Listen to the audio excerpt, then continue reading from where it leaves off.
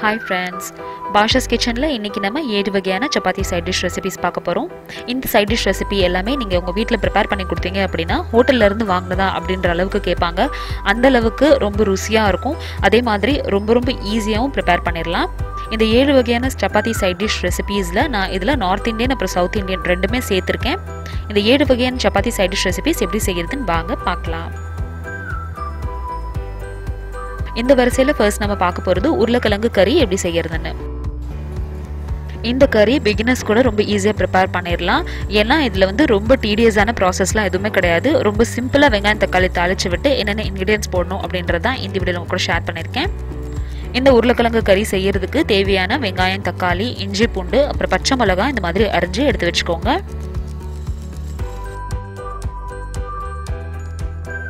ரெண்டு உருளைக்கிழங்க குக்கரில் போட்டு மூணு விசில் வேக வச்சு எடுத்துக்கோங்க. உப்பு போட்டு. இப்போ ஒரு கடாயில் ரெண்டுலேருந்து மூணு டேபிள் ஸ்பூன் எண்ணெய் விட்டுக்கோங்க. கடுகு போட்டு தாளிச்சிடலாம் ஃபஸ்ட்டு கடுகு பொரிஞ்ச உடனே ஒரு டீஸ்பூன் அளவுக்கு கடலைப்பருப்பு அப்புறம் எடுத்து வச்சுருக்க வெங்காயம் சேர்த்துருங்க.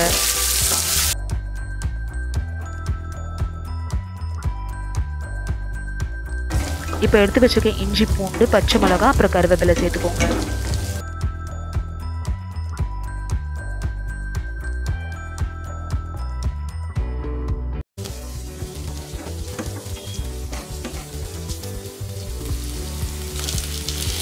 அடுத்ததான் தக்காளி சேர்த்துடலாம்.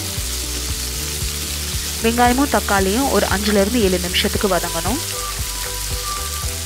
இந்தளவு வெங்காயம் தக்காளி வதங்கினதுக்கு அப்புறமா இப்போ இதில் நம்ம மசாலா சேர்த்துடலாம். மசாலாவில் வெறும் மிளகாத்தூள் மஞ்சத்தூள் அப்புறம் உப்பு சேர்த்துக்கோங்க. ஒரு ரெண்டு நிமிஷம் இதை வேக விடுங்க. வேக வச்சு எடுத்துருக்க உருளைக்கிழங்க கட் பண்ணி சேர்த்துருங்க.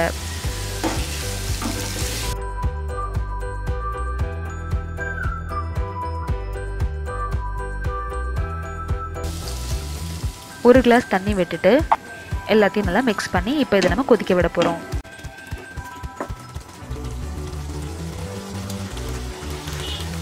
இந்த ஸ்டேஜில் தேவையான அளவு உப்பு சேர்த்துக்கோங்க.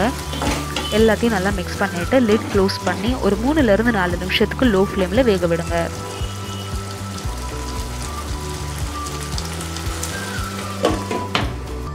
கரெக்டாக ஒரு நாலு நிமிஷத்துக்கு அப்புறமா இப்போ இதை நான் ஓப்பன் பண்ணுறேன்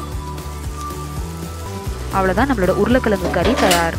இந்த ரெசிபி உங்களுக்கு பிடிச்சிருந்துச்சு இந்த வீடியோக்கு ஒரு லைக் கொடுங்க. என்னோட சேனலை ஃபர்ஸ்ட் டைம் பார்க்குறீங்கன்னா கண்டிப்பாக சப்ஸ்கிரைப் பண்ணுங்கள் அடுத்ததாக நம்ம பார்க்க போகிறது சனா மசாலா எப்படி செய்யறதுன்னு. சனா மசாலா செய்யறதுக்கு வெள்ளை கொண்ட கடலையை நைட்டே ஊற வச்சிருங்க. ஊற வச்ச கொண்ட கடலையை ஒரு ப்ரெஷர் குக்கரில் இப்போ நான் சேர்த்துக்கிறேன். தேவையான அளவு தண்ணி விட்டுட்டு இப்போ இதை நம்ம வேக வச்சு எடுத்துக்க போகிறோம் சனா மூழ்கிற அளவுக்கு தண்ணி விட்டுக்கோங்க. அரை டீஸ்பூன் அளவுக்கு இப்போ இதில் நான் உப்பு சேர்த்துக்கிறேன். லிட் க்ளோஸ் பண்ணி நாலுலேருந்து அஞ்சு விசில் வர வரைக்கும் வேக வச்சுக்கலாம். கிரேவி செய்கிறதுக்கு ஒரு ஜாரில் ரெண்டு தக்காளி இந்த மாதிரி சேர்த்துக்கோங்க. அதில் ஒரு பச்சை மிளகா உடச்சி சேர்த்துட்டு இதையும் நம்ம அரைச்சி எடுத்து வச்சுக்கலாம். இப்போ ஒரு பேனில் மூணுலேருந்து நாலு டேபிள் ஸ்பூன் அளவுக்கு எண்ணெய் விட்டுட்டு அதில் ஜீரகம் போட்டு தழிச்சிக்கோங்க ரெண்டு கிராம்பு ஒரு பட்டை சேர்த்துக்கலாம். அடுத்ததாக நறுக்கி எடுத்து வச்சிருக்க பெரிய வெங்காயத்தை இந்த மாதிரி சேர்த்துருங்க. ஒரு ரெண்டுலேருந்து மூணு நிமிஷத்துக்கு நல்லா வதங்க விடலாம். இந்தளவு வதங்கினதுக்கப்புறமா ஒரு டேபிள் ஸ்பூன் அளவுக்கு இஞ்சி பூண்டு பேஸ்ட் சேர்த்துக்கோங்க. அதையும் வதங்க விடுங்க. அடுத்ததாக இதில் ஒரு டீஸ்பூன் அளவுக்கு வெறும் மிளகாத்தூள் கொஞ்சமாக மஞ்சத்தூள் அப்புறம் கொஞ்சம் தனியாத்தூள் அப்புறம் கொஞ்சம் கரம் மசாலா தூள் சேர்த்துக்கோங்க. இப்போது இந்த சனா மசாலா செய்யறதுக்கு நான் எவரெஸ்டோட சோலை மசாலா பவுடர் எடுத்திருக்கேன். நீங்கள் எந்த பிராண்ட்னாலும் யூஸ் பண்ணிக்கலாம். ஒரு டீஸ்பூன் அளவுக்கு இதை சேர்த்துட்டு எல்லாத்தையும் நல்லா மிக்ஸ் பண்ணிக்கோங்க. கிரேவி மறுபடியும் வேகும் போது நம்ம இன்னொரு டீஸ்பூன் அதில் சேர்த்துக்கணும். இப்போ அரைச்சி எடுத்து வச்சுருக்க தக்காளி பேஸ்ட்டை சேர்த்துட்டு எல்லாத்தையும் நல்லா மிக்ஸ் பண்ணிக்கலாம்.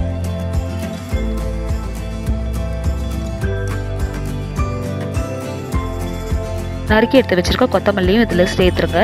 கொண்டக்கடலை வேக வச்ச தண்ணியை சேர்த்துக்கோங்க. எக்ஸ்ட்ரா தண்ணி இதில் நீங்கள் வெறும் தண்ணி ஊற்றாமல் இந்த மாதிரி கொண்டக்கடலை வேக வச்ச தண்ணியை சேர்த்துக்கோங்க. இப்போ இந்த மசாலா எல்லாமே வந்து பச்சை வாசனை போகிற வரைக்கும் நல்லா கொதிக்க விடலாம்.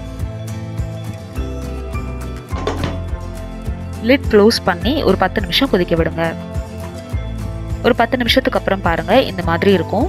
மசாலாவோட பச்சை வாசனை போனதுக்கு அப்புறமா இதில் இப்போ நம்ம கொண்டக்கடலையை சேர்த்துடலாம். இப்போ இதில் கடைசியாக ஒரு டேபிள் ஸ்பூன் அளவுக்கு மறுபடியும் சோலை மசாலா சேர்த்துட்டு எல்லாத்தையும் நல்லா மிக்ஸ் பண்ணி கிரேவியோட கன்சிஸ்டன்சி வர்ற வரைக்கும் கொதிக்க விடலாம்.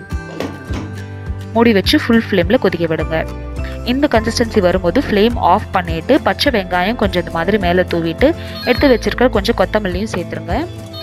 நம்மளோட சனா மசாலா ரெடி ஆயிடுச்சு இந்த ரெசிபி உங்களுக்கு பிடிச்சிருந்துச்சுன்னா இந்த வீடியோக்கு லைக் கொடுங்க. என்னோட சேனலை ஃபர்ஸ்ட் டைம் பார்க்குறீங்கன்னா கண்டிப்பாக சப்ஸ்கிரைப் பண்ணுங்கள் இந்த ரெசிபி நீங்கள் டாபாவில் சாப்பிட்ற அதே சோலை மசாலா மாதிரியே இருக்கும். இதுக்கு நீங்கள் சோலா பூரியும் செஞ்சுக்கலாம். ரொம்ப டேஸ்டியாக வரும்.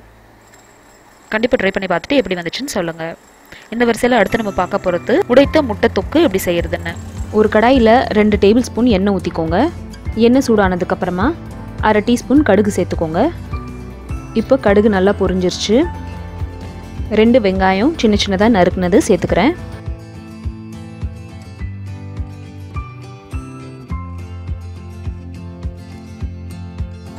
வெங்காயம் எந்த அளவு வதங்கினதுக்கு அப்புறமா தக்காளி சேர்த்துக்கலாம். ஒரு மூணு நிமிஷம் வதங்க விடுங்க.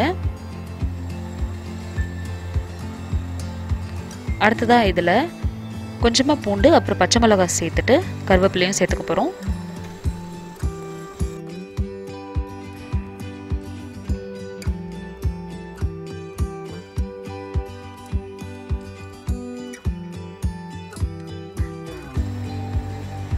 வெங்காயம் தக்காளி அளவு வதங்கினதுக்கு அப்புறமா இதில் கொஞ்சமாக மஞ்சத்தூள் அப்புறம் உப்பு சேர்த்துட்டு அரை கிளாஸ் தண்ணி விட்டுட்டு எல்லாத்தையும் நல்லா மிக்ஸ் பண்ணி பச்சை வாசனை போகிற வரைக்கும் இப்போ நம்ம இதை கொதிக்க விடலாம். இப்போ இதில் வெறும் மிளகாத்தூள் கொஞ்சம் அப்புறம் கொஞ்சம் தனியாத்தூள் சேர்த்துட்டு எல்லாத்தையும் நல்லா கலந்து விட்டுட்டு ஒரு அஞ்சுலேருந்து பத்து நிமிஷத்துக்கு இந்த பச்சை வாசனை போகிற வரைக்கும் மறுபடியும் கொதிக்க விடுங்க. ஒரு ஏழு நிமிஷத்துக்கு அப்புறமா இப்போ நம்ம இதில் முட்டையை உடச்சி ஊற்றிடலாம் முட்டை உடச்சி ஊற்றும் போது நல்லா பக்கத்தில் போய் இந்த மாதிரி உடச்சி விடுங்க. அப்போ தான் இந்த மஞ்சள் இருக்கு இல்லையா அது வந்து நம்மளுக்கு தொக்கில் ஸ்ப்ரெட் ஆகாமல் இருக்கும். நல்லா அதே மாதிரி வெந்துடும் ஒரு மூணு முட்டை இந்த மாதிரி உடச்சி விட்டுக்கோங்க. தேவையான உப்பு அப்புறம் கொஞ்சம் மிளகுத்தூள் இந்த மாதிரி நுணுக்கி சேர்த்துக்கோங்க. ஒரு அஞ்சு நிமிஷம் லோ ஃப்ளேமில் மூடி வச்சு இதை நம்ம வந்து இப்போ வேக வைக்க போகிறோம் கொஞ்சமாக கொத்தமல்லி இலையும் சேர்த்துக்கலாம். இப்போ லெட் க்ளோஸ் பண்ணி அஞ்சு நிமிஷம் ஆயிடுச்சு அஞ்சு நிமிஷத்துக்கு அப்புறம் இந்த மாதிரி இருக்கும். லைட்டாக அந்த மாதிரி கீழ் பக்கமாக கிளறி விடுங்க. முட்டையை அந்த மாதிரி உடச்சி விட்டுக்கோங்க. இன்னும் ஒரு அஞ்சுலேருந்து ஏழு நிமிஷத்துக்கு லோ ஃப்ளேமில் வேக விடலாம். ஒரு ஏழு நிமிஷத்துக்கு அப்புறம் பாருங்கள் நம்மளோட உடச்சி ஊற்றின முட்டை தொக்கு தயாராகிருச்சு இந்த ரெசிபி ரொம்ப ஈஸியாக ப்ரிப்பேர் பண்ணிடலாம் ஒரு அஞ்சுலேருந்து எட்டு நிமிஷத்தில் நம்மளோட முட்டை வந்து நல்லா வெந்துடும் நடுவில் எல்லோ பார்ட் வெந்திருக்கா அப்படின்னு செக் பண்ணிவிட்டு ஃப்ளேமை ஆஃப் பண்ணிக்கோங்க. சப்பாத்திக்கு இந்த சைட் டிஷ் ரொம்ப ரொம்ப டேஸ்டியாக இருக்கும். கண்டிப்பாக ட்ரை பண்ணி பார்த்துட்டு உங்களுக்கு எப்படி வந்துச்சு அப்படின்றது கமெண்ட் செக்ஷனில் சொல்லுங்கள் இந்த வீடியோ பிடிச்சிருந்தா இந்த வீடியோக்கு ஒரு லைக் கொடுங்க. அடுத்தது நம்ம பார்க்க போகிறது மஷ்ரூம் பெப்பர் ஃப்ரை எப்படி செய்யறதுன்னு. மஷ்ரூம் பெப்பர் மசாலா ரெடி பண்ணுறதுக்கு ஒரு பேனில் ஒன்று டேபிள் ஸ்பூன் அளவுக்கு மிளகு சேர்த்துக்கோங்க. ஒரு டேபிள் ஸ்பூன் ஜீரகம் முக்கால் டேபிள் ஸ்பூன் வந்து சோம்பு சேர்த்துக்கோங்க. கொஞ்சமாக பட்டை கிராம்பு அப்புறம் ஒரே ஒரு ஏலக்காய் சேர்த்துக்கோங்க. இது எல்லாத்தையும் லோ ஃப்ளேமில் ஒரு ரெண்டுலேருந்து மூணு நிமிஷத்துக்கு நம்ம ட்ரை ரோஸ்ட் பண்ண போகிறோம் மசாலா எல்லாம் கருகாமல் இதை வந்து நீங்கள் ட்ரை ரோஸ்ட் பண்ணிக்கணும். ஒரே ஒரு காஞ்ச வத்தல் சேர்த்துக்கிறேன். இது வந்து ஆப்ஷனல் தான். உங்களுக்கு காரம் இதுவே போதும் அப்படின்னு நினச்சிங்கன்னா இது நீங்கள் சேர்த்துக்க வேண்டாம். எந்தளவு ட்ரை ரோஸ் ஆனதுக்கப்புறமா இதை இப்போ நம்ம ஆற வச்சு அரைச்சி எடுத்துக்கலாம். இப்போ நம்ம மஷ்ரூம் கிரேவி செய்கிறதுக்கு ஸ்டார்ட் பண்ணலாம். ஒரு பேனில் கொஞ்சமாக எண்ணெய் விட்டுக்கோங்க. எண்ணெய் சூடானதுக்கப்புறமா கடுகு போட்டு தாளிச்சுக்கலாம். கடுகு பொரியறதுக்குள்ள மஷ்ரூமை நல்லா க்ளீன் பண்ணி இந்த மாதிரி வாஷ் பண்ணி எடுத்து வச்சுக்கோங்க. கடுகு பொரிஞ்சதுக்கு அப்புறமா ஜீரகம் சேர்த்துக்கோங்க. பொடி பொடியாக நறுக்குன்னு இஞ்சியும் பூண்டும் இந்த மாதிரி சேர்த்துக்கோங்க. உங்கள்கிட்ட இஞ்சி பூண்டு பேஸ்ட் இருந்துச்சுன்னா அதுவும் சேர்த்துக்கலாம். ஒரு கொத்து கருவேப்பிலை சேர்த்துட்டு எல்லாத்தையும் நல்லா வதக்கிக்கலாம்.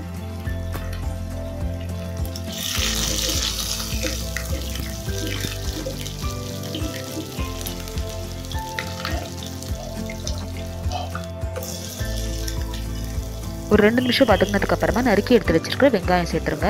இதுக்கு நான் ரெண்டு மீடியம் சைஸ் வெங்காயம் சேர்த்துருக்கேன்.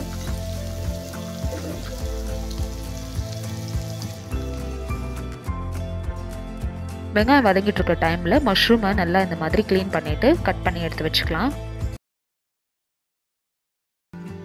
இந்தளவு வெங்காயம் வதங்கினதுக்கு அப்புறமா ரெண்டு தக்காளி சேர்த்துக்கிறேன். அதையும் நல்லா வதங்க விடுங்க. இப்போ இந்த ஸ்டேஜில் நம்ம கட் பண்ணி எடுத்து வச்சுருக்க மஷ்ரூம்ஸை சேர்த்துருங்க. காளான் வந்து யூஸ்வலாக பார்த்தீங்கன்னா கிரேவியாக வெங்காயம் தக்காளி போட்டு செஞ்சிங்கனாலும் நல்லாயிருக்கும் இந்த மாதிரி தொக்கா செஞ்சாலும் நல்ல டேஸ்டியாக இருக்கும். காளான் சேர்த்ததுக்கப்புறமா நம்ம அரைச்சி எடுத்து வச்சிருக்கிற இந்த மஷ்ரூம் பெப்பர் மசாலா ஒன்றரை டேபிள் ஸ்பூன் அளவுக்கு சேர்த்துக்கிறேன். உங்களுக்கு இன்னும் கொஞ்சம் ஸ்பைஸியாக வேணும்னு நினச்சிங்கன்னா ரெண்டு டேபிள் ஸ்பூன் அளவுக்கு சேர்த்துக்கலாம்.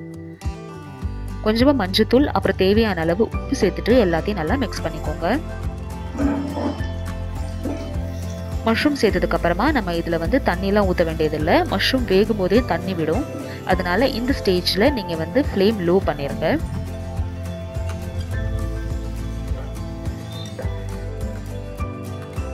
எல்லாத்தையும் நல்லா மிக்ஸ் பண்ணிவிட்டு ஃப்ளேம் லோ பண்ணிவிட்டு இப்போ இது ஒரு அஞ்சு நிமிஷத்துக்கு வேக விடலாம். கரெக்டாக ஒரு அஞ்சு நிமிஷத்துக்கு அப்புறம் பாருங்கள்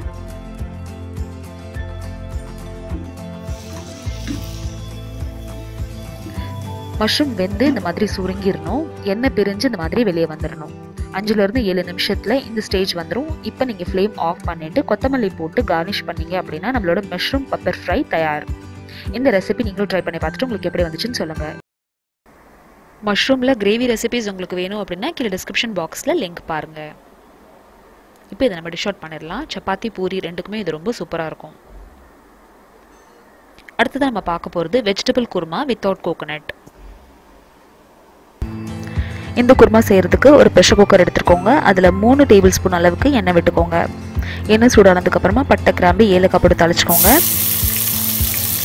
அடுத்ததாக பொடி பொடியாக நறுக்கி வச்சுருக்க வெங்காயத்தை சேர்த்துடலாம். வெங்காயம் சேர்த்துட்டு ஒரு ரெண்டு நிமிஷம் வதங்க விடுங்க.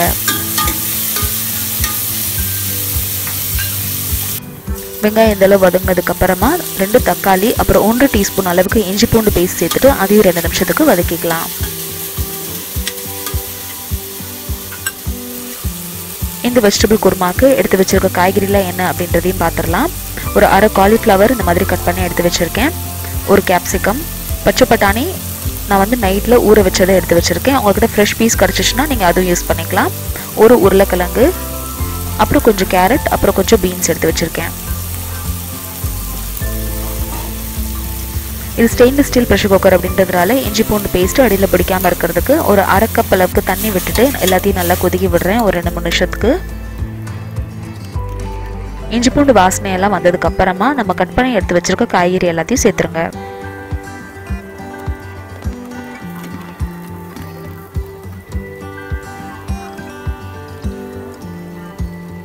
அடுத்ததாக அதில் மசாலா சேர்த்துக்கலாம். மசாலாவில் இங்கே தான் வெறும் மிளகாத்தூள் உப்பு மஞ்சத்தூள் கொஞ்சம் கரம் மசாலா தூள் அப்புறம் தனியா தூள் சேர்த்துக்கோங்க.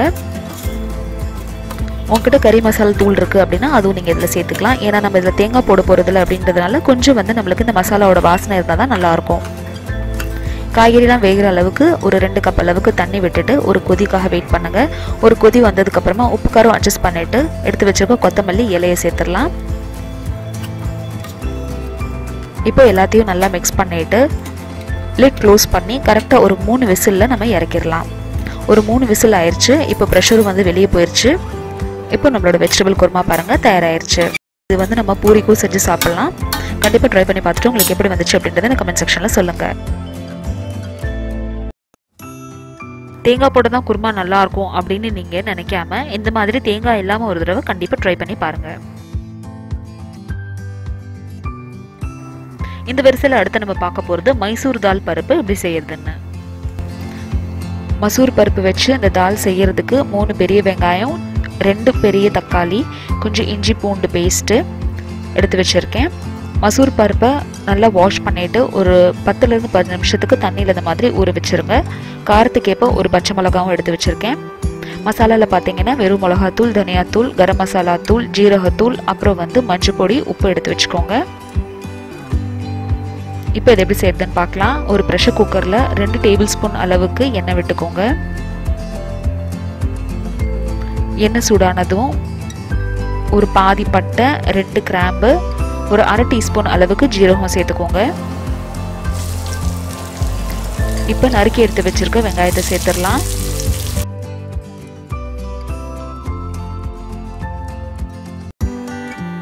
வெங்காயம் இந்தளவு வதங்கினதுக்கப்புறமா தக்காளி சேர்த்துட்டு அதையும் ஒரு ரெண்டுலேருந்து மூணு நிமிஷத்துக்கு வதக்கிக்கலாம்.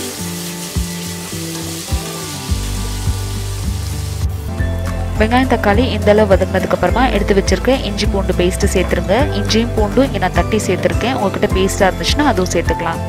கொஞ்சமாக கொத்தமல்லி உப்பு மஞ்சத்தூள் வெறும் மிளகாத்தூள் அப்புறம் தனியாத்தூள் ஒரு அரை டீஸ்பூன் அளவுக்கு ஜீரகத்தூள் ஒரு டீஸ்பூன் அளவுக்கு கரம் மசாலா தூள் சேர்த்துக்கோங்க. இந்த மசாலா எல்லாம் சேர்த்துட்டு எல்லாத்தையும் நல்லா மிக்ஸ் பண்ணி விட்டுக்கோங்க. மசாலா அடியில் பிடிக்காமல் இருக்கிறதுக்கு கொஞ்சமாக வந்து நம்ம தண்ணி விட்டுக்கலாம்.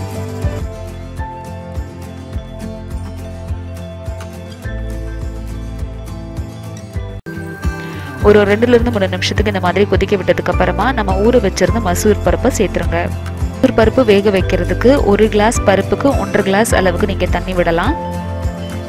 இங்கே நான் வந்து ஒன்றரை கிளாஸ் அளவுக்கு பருப்பு எடுத்திருக்கேன். அதனால் மூணுலேருந்து மூன்றரை கிளாஸ் அளவுக்கு தண்ணி விட்டுட்டு கொத்தமல்லி சேர்த்து நல்லா இது எல்லாத்தையும் கொதிக்க விடலாம்.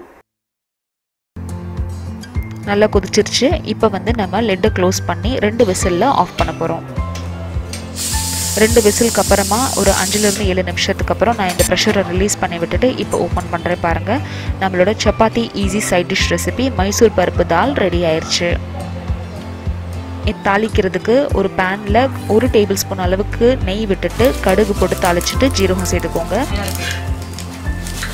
ஒரு டீஸ்பூன் அளவுக்கு பெருங்காயத்தூள் சேர்த்துக்கலாம்.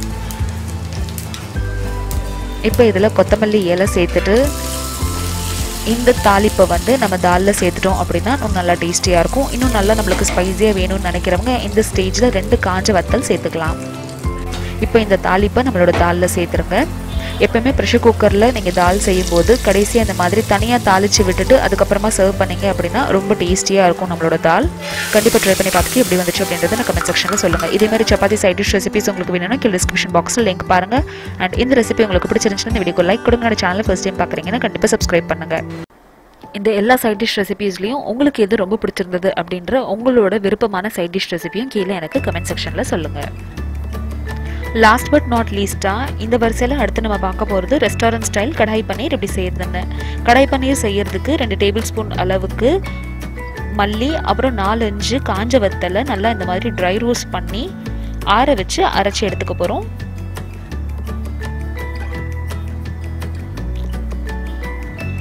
இது அரைச்சி எடுத்ததுக்கப்புறமா அதே பேனில் கொஞ்சமாக எண்ணெய் விட்டுட்டு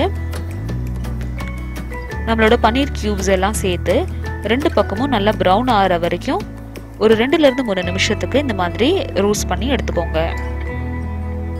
ரொம்ப நேரம் வேக வைக்க வேண்டாம். லைட்டாக இந்த அளவு ப்ரௌன் ஆச்சுன்னா போதும்.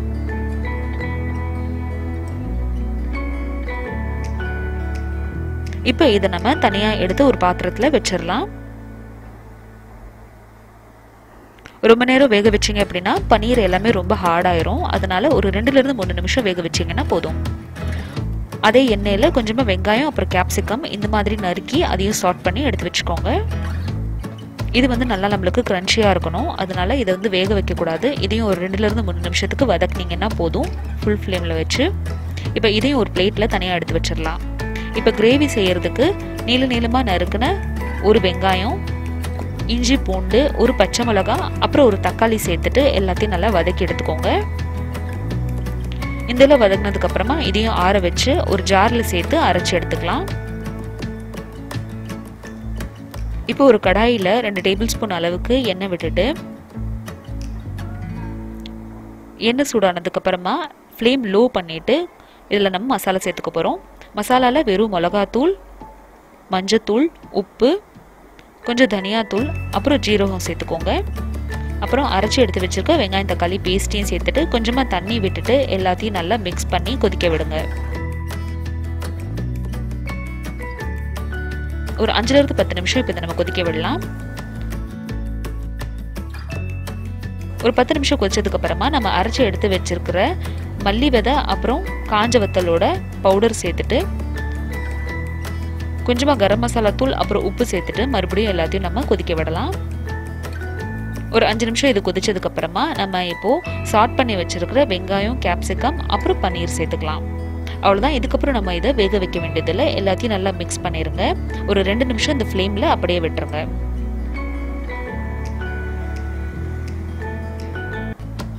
ஒரு ரெண்டு நிமிஷத்துக்கு அப்புறமா ஒரு டீஸ்பூன் அளவுக்கு கசூரி மேத்தி எடுத்து இந்த மாதிரி சேர்த்துருங்க. இப்போ இதில் கொத்தமல்லி இலை சேர்த்து ஃப்ளேம் ஆஃப் பண்ணீங்க அப்படின்னா நம்மளோட ரெஸ்டாரண்ட் ஸ்டைல் கடாய் பண்ணி தயாராயிருச்சு. இந்த ரெசிபி நீங்களும் ட்ரை பண்ணி பார்த்துட்டு உங்களுக்கு எப்படி வந்துச்சு அப்படின்றது சொல்லுங்கள் அடுத்து சப்பாத்தி சைட் டிஷ் ஏழு வகையில் என்ன ரெசிபிஸ் வந்து நம்ம இன்க்ளூட் பண்ணலாம் அப்படின்றது எனக்கு கமெண்ட் செக்ஷனில் சொல்லுங்கள் இதே மாதிரி இன்னொரு இன்ட்ரெஸ்டிங்கான வீடியோவில் அடுத்து உங்களை வந்து சந்திக்கிறேன். தேங்க்யூ ஸோ மச் ஃபார் வாட்சிங் பாய்